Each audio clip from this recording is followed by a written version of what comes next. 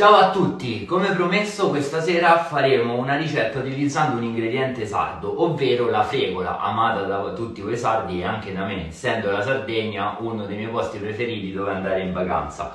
E difatti sono stato molto spesso in zona Valle Doria, Castelsardo, veramente bellissima.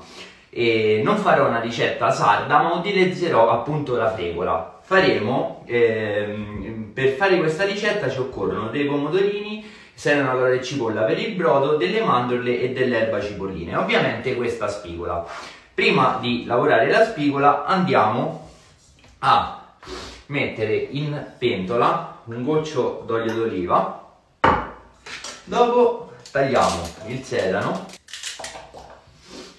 la carota e la cipolla. Mettiamo anche un pomodorino schiacciato a metà. Ok, intanto lo porgerò sul gas.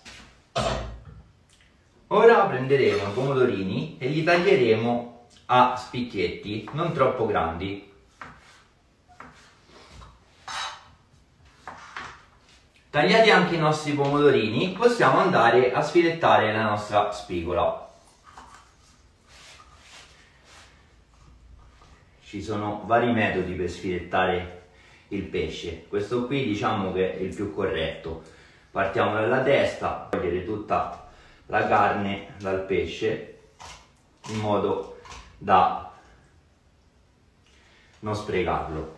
Ok.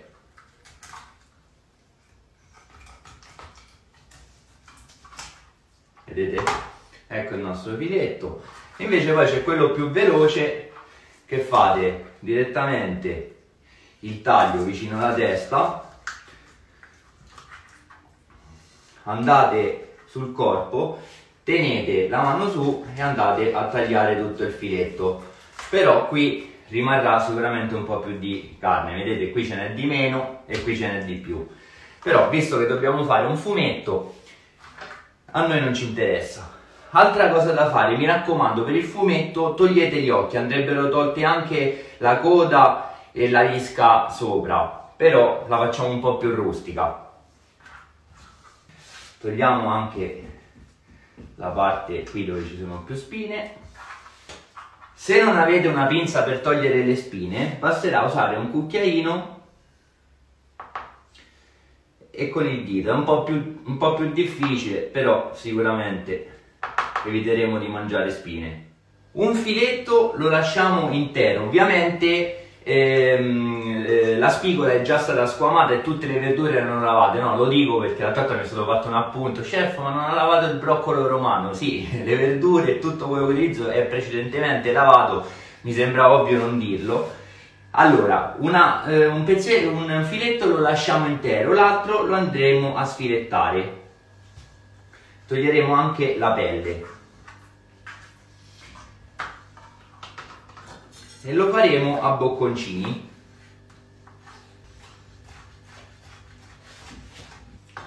Ok, tutte le nostre basi sono pronte, possiamo andare in cottura. Ok, facciamo rosolare un po' i nostri vegetali, poi sfumiamo con della soia. Aggiungiamo un po' di curcuma e infine l'acqua e facciamo insaporire il nostro brodo. Questo è un fumetto a little bit orientale. Ora a crudo andremo a calare le nostre lische. Ricordate il filetto che avevo pulito? La pelle non l'ho buttata, l'ho messa con dell'olio nella carta da forno e adesso l'andrò a mettere in padella con un peso sopra. Ci siamo, vedete? Così, in questo modo, la pelle diventerà secca ma non si brucerà. Guardate che bella, che bel colore. Ora, nello stesso padellino, non fa niente se c'è un po' di grassetto del pesce, andiamo a tostare le nostre mandorle. Ok, proseguiamo. Filo d'olio in padella, facciamo imbiondire l'aglio e andiamo a mettere i nostri pomodorini. Una volta appassiti un po', andate a togliere il nostro spicchio d'aglio e calate la nostra fregola e fatela tostare un po'.